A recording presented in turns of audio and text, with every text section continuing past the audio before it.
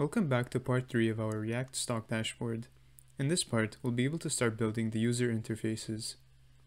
In particular, we'll start by building our grid dashboard layout.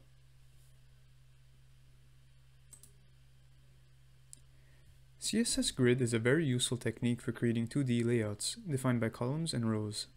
It also allows us to specify how many rows or columns are occupied by children in that grid. Let's take an example on the left here. We have 5 rows and 3 columns. The components that will occupy this grid include the header, the chart, the overview, and the details. Each component will occupy a different amount of space. For instance, the chart will occupy 4 rows by 2 columns. We'll also have a different grid layout for large, medium, and small screens. That way it makes it a bit more responsive. So let's start coding. I'll make a components folder. Inside here, I'll create a card component, card.js. And this will be used as a container component. So as a prop, we'll make it take a special children prop. And this can be used to use our children directly in the output, like this.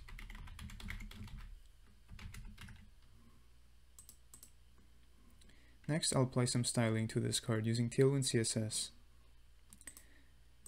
Let's give it a class name. I'll give it w full, so this will take the full 100% width of the parent. h full, so it has 100% of the height of the parent. Next, we'll make it rounded MD, so this will give it a border radius. I'll make it a relative positioning Next, some padding, P8, and lastly some border width with a background of gray. Now that this is complete, we'll move on to our dashboard. I'll call this dashboard.js.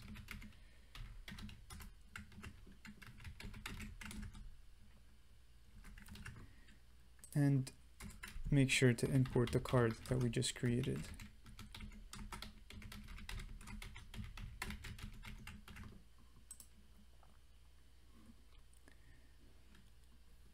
And before we move on to our dashboard and create our grid, there's just one little thing we'll add to our tailwind.config.js.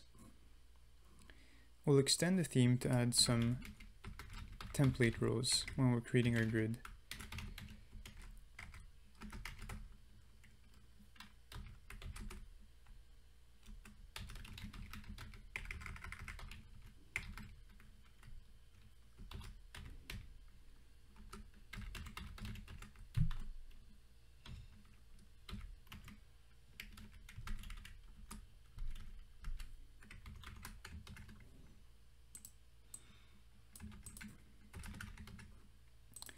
So we'll do this for 7 and 8 so that this will create 7 equally sized rows or 8 equally sized rows.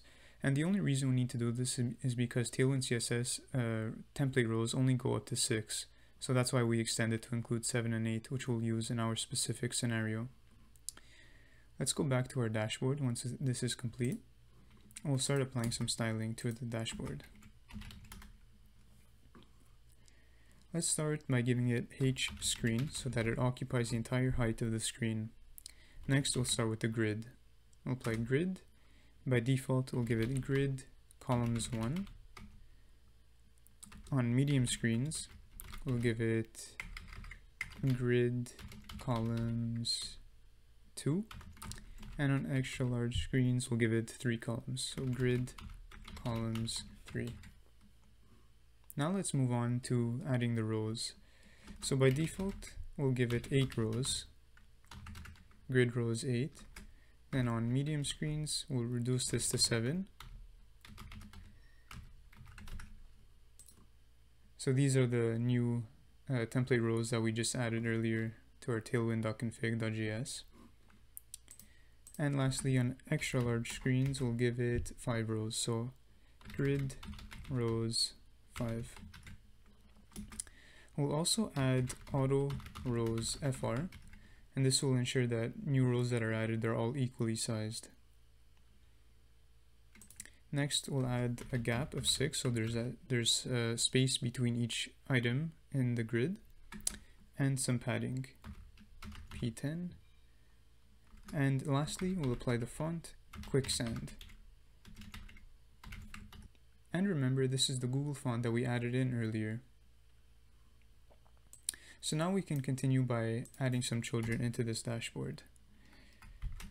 So we have a header, a chart, an overview, and a details.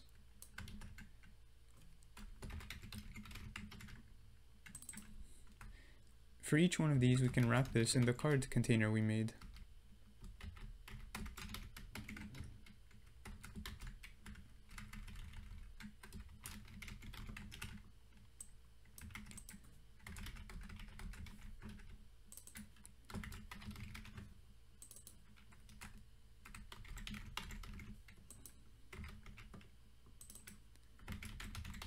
So as we said, we have a header, a chart, an overview, and a details.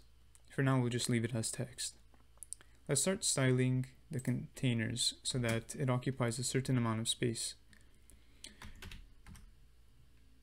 For the header, we'll make it take a column span of 1 by default. On medium screens, a column span of 2. And on the extra large screens, we'll make it have a column span of 3.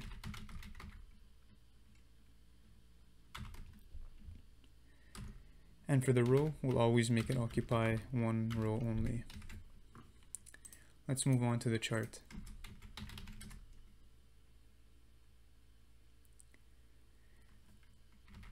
On medium screens, we'll make this chart have a column span of 2 and a row span of 4.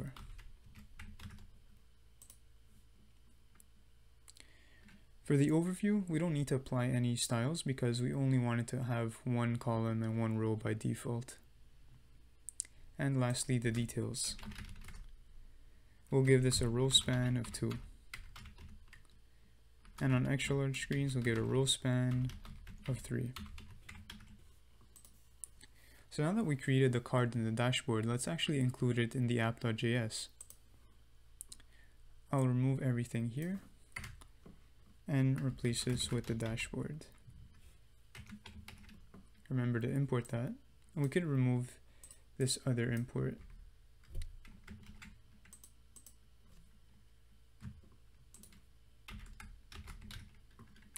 So there we go. And I'll also clear out all the app.css, which we don't need right now. So now that we've included the dashboard in our app.js, let's see what it looks like. So there we go, we've created a grid dashboard. Let's inspect and see how it looks on different screen sizes. So as expected, on a small screen, we have 8 rows with one column. Let's increase this to a medium-sized screen. And there we go, we see it changes and it's responsive. On the medium-sized screen, we have 7 rows with 2 columns. This is as we wrote in the code. Let's increase this to an extra large screen. And again, this is responsive as we expected. In this case, we have five rows with three columns. I hope you enjoyed creating this grid dashboard. In the next video, we'll create some more interesting components. Thank you for watching, and I'll see you in the next video.